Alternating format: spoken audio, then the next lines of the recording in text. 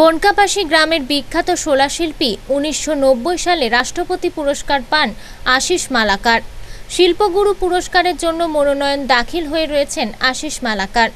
রবিবার বনকাবাসী গ্রামের এক গৃহবধূ মঙ্গলকোট থানায় অভিযোগ দায়ের করেন দীর্ঘ তিন বছর ধরে বিভিন্ন জায়গায় নিয়ে গিয়ে তার ইচ্ছার বিরুদ্ধে তাকে লাগাতার ধর্ষণ করেন আশিস মালাকার।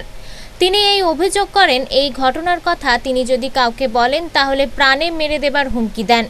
দুহাজার উনিশ সালের আশিস মালাকার একটি সরকারি শিক্ষা কেন্দ্র যেখানে সোলার কাজ শেখানো হতো, সেই সোলার কাজ শিখতে গিয়েই ঘনিষ্ঠ হয় আশিস মালাকার ও ওই মহিলা। এরপর রবিবার সকালে ওই গৃহবধূ তার স্বামীকে সমস্ত ঘটনা খুলে বললে, মঙ্গলকোট থানায় নিয়ে গিয়ে অভিযোগ দায়ের করে ওই গৃহবধূ। কালকে হঠাৎ একটা ঝামেলা হয়েছিল ঠিক আছে? তার জন্য আশিস মালাকার গিয়েছিল ওনাদের বাড়ি।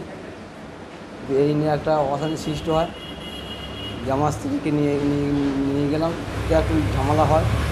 ঝামেলার পর আপনার কেস করতে এলাম। সে তো কেস হয়ে গিয়েছে। আমরা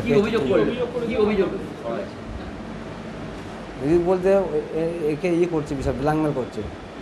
হ্যাঁ। ব্ল্যাকমেল করছে অনেক কিছু করেছে। হ্যাঁ। খারাপ কিছু কাজ খারাপ করতো হ্যাঁ অনেক কাজ করতো। হ্যাঁ। এরপর রবিবার রাতে আশিস মালাকারকে বনকাপাশি গ্রামের বাড়ি থেকে গ্রেপ্তার করে মঙ্গলকোট থানার পুলিশ।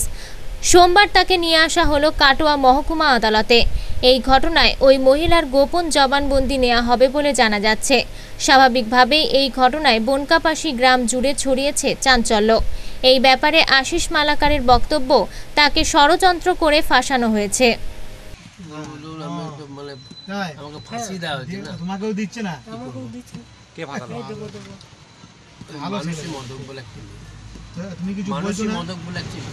মানে ট্রেনিং সেন্টার ছিল গভর্নমেন্ট থেকে তাতে কাজ করছে কতদিন কাজ করতো চার মাস ও বলছে তিন বছর ধরে কাজ শিখতো না না চার মাসের ট্রেনিং ছিল গভর্নমেন্ট থেকে গভর্নমেন্ট থেকে চার মাসের ট্রেনিং হয় আমার কাছে হয়েছিল তখন কাজ করেছি তা যে অভিযোগ উঠেছে হ্যাঁ যে অভিযোগটা করছে ও- ওই ও- ও হচ্ছে কাজ করেছি যে অভিযোগটা করছে সেটা কি ও যে অভিযোগ করছে আমি কি বলব বলুন? মানে এখন তো মানে আমাকে ফাঁসানো হচ্ছে না। আমি তো মানে কি বলব বলবার মঙ্গলকোট থেকে আমিরুল ইসলামের রিপোর্ট, আনন্দ বার্তা।